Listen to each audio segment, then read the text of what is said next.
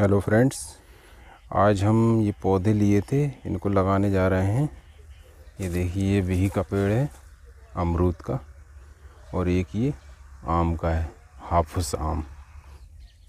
ये राम कला है। तो आपको प्रक्रिया बताते हैं, किस तरह से लगाते हैं।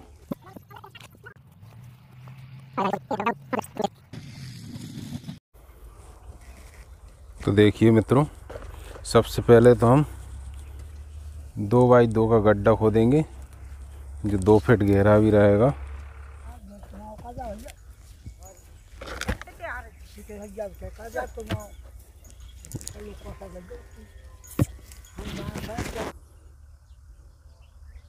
दो फीट गहरा और दो फीट चौड़ा हम गड्ढा खोदेंगे, और उसमें ये देखिए, दो तगाड़ी रेत और ये तीन तगाड़ी पची हुई खाद। दोनों को मिक्स करके और मिट्टी मिक्स कर देंगे। और उसको एक फिट गड्ढे को भर देंगे उससे। तो चलिए हम भर के फिर बताते हैं आपको। मम्मा क्या कर रहा है? कैसे अभी क्या कर रहा है? ढोर चाह रहा है। कहाँ पे? तुम्हारे घर के बगल में। इतने सवेरे ढोर तुम रही है। नहीं भैंस है भैंस भैंस है।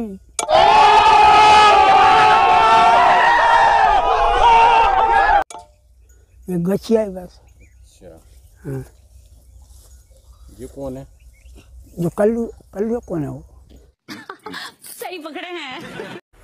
तो फ्रेंड्स हमारा ये मिक्सचर हो चुका है तैयार जिसमें हमने दोनों गड्ढों के लिए मिट्टी तैयार की है।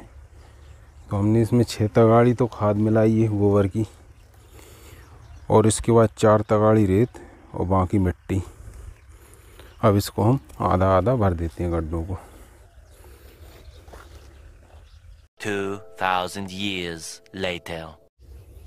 देखिए फ्रेंड्स हमने गड्ढों को आधा भर दिया है मिक्सचर से। अब हम इसमें पौधे लगाएँगे।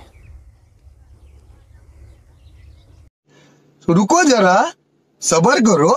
बोला धक्का बुक्की नहीं करने का। देखिए हमने अब इस अमरूद के पौधे को पॉलीथीन निकाल कर ये रख दिया है।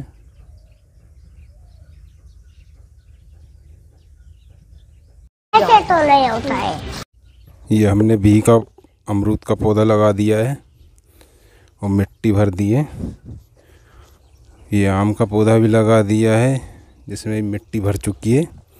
और इसके पास एक लकड़ी गड़ा देंगे, जो सीधी बाँस की लकड़ी या कुछ भी, उससे ये पौधे को बाँध देंगे। देखिए इस तरह से।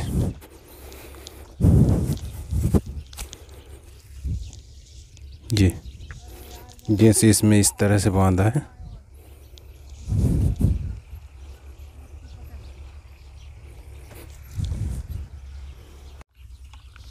अब हम यहाँ पर मुनगा पौधा लगा रहे हैं।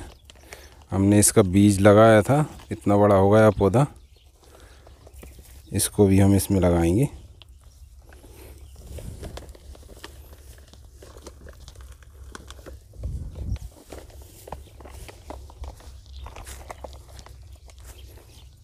भाई इधर देखो।